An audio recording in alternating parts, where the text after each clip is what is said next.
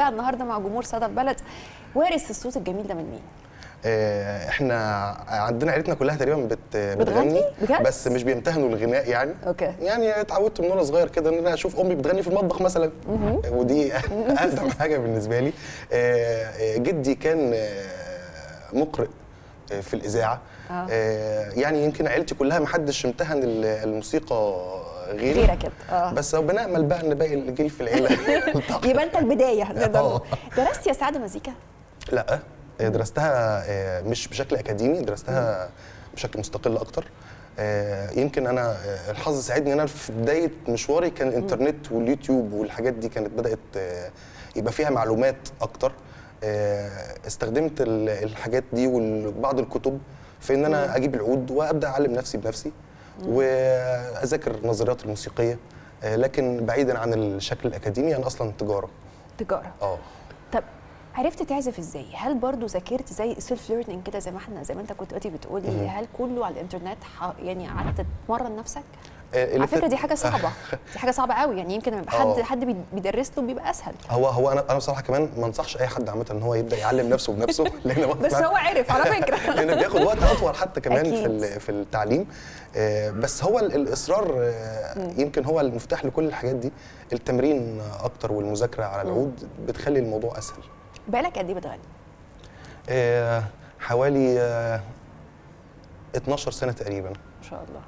حاسس إمتى ابتديت تحس ان انت لا أنا الناس عارفاني أنا الناس بتجيلي مخصوص أنا قعدات ساعات يعني أنا. عارفة ما شاء الله انها بتبقى محجوزة من قبلها بكتير يعني. الحمد لله. آه أنا في الأول آه، قعدت حوالي سنة أو سنة ونص آه، بعمل قعدات for free للناس. حاولت أبدأ الموضوع مش من بالمجان. مش من إن أنا أعمل أغنية ثم أبدأ أعمل حفلة. لأن أنا أعمل القعدة على طول أو الحفلة على طول إن أنا أحتك بالناس بشكل وده بطبيعة عملي. آه، فقلت إحنا ممكن نقعد نعمل الموضوع بشكل مستمر. آه لحد ما نوصل إن إحنا خلاص يبقى عندنا القعدة تبدأ الناس كلها تعرفها. والحمد لله إن دايما الترشيحات بتيجي من الناس اللي حضروا.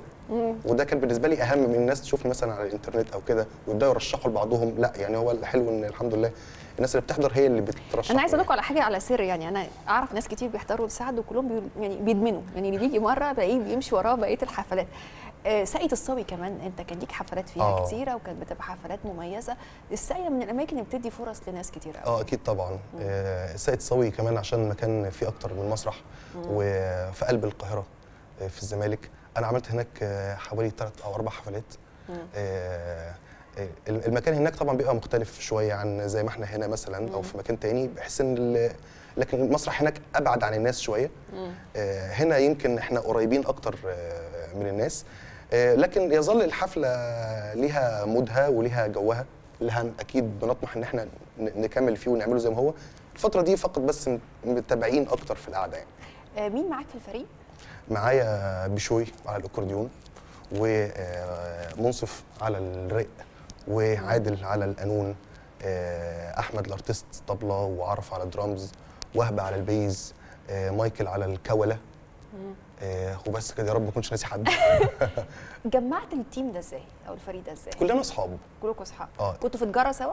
لا آه، كلنا اصحاب. أنا كنت صاحب كل واحد فيهم لوحده. آه، في البداية. وبدأنا نقنع آه، يعني أبدأ بدأت أشوف مين أكتر حد له character أكتر كمان من الفن إن هو يقدر يقعد مع الناس. يعني يقدر يتجاوب كمان لأن الموضوع مش ليا لوحدي فردي. لكن أنا معايا أصدقائي